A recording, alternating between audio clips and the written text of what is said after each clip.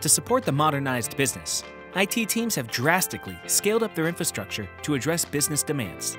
But this pace of growth comes with added complexity.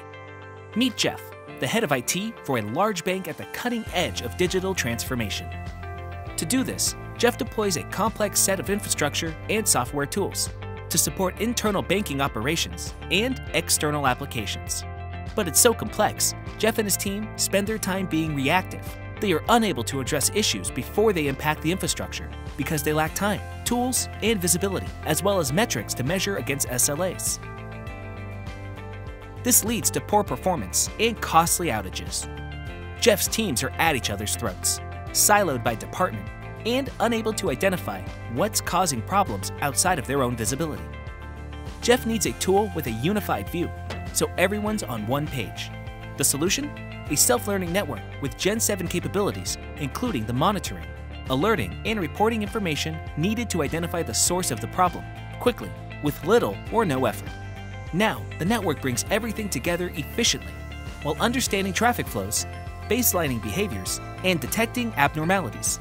It breaks through complexity and noise to proactively report on what matters, using SANnav to feed information into daily tools. It also feeds data via streaming into other tools, making the network more intelligent. This way, Jeff's department can collaborate on the network identifying issues at the beginning. How is this done? Built into every Brocade Gen 7 director and switch is the capability to monitor granular I.O. statistics in real time and feed it into SANnav. For example, latency statistics like first response times and I.O. exchange completion times. It also tracks other SCSI command latency stats.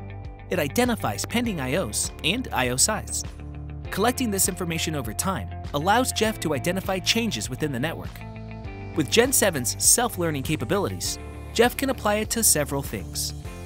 Self-learning improves troubleshooting by helping Jeff identify the problem at the very beginning so he can properly manage his workload while considering other important things.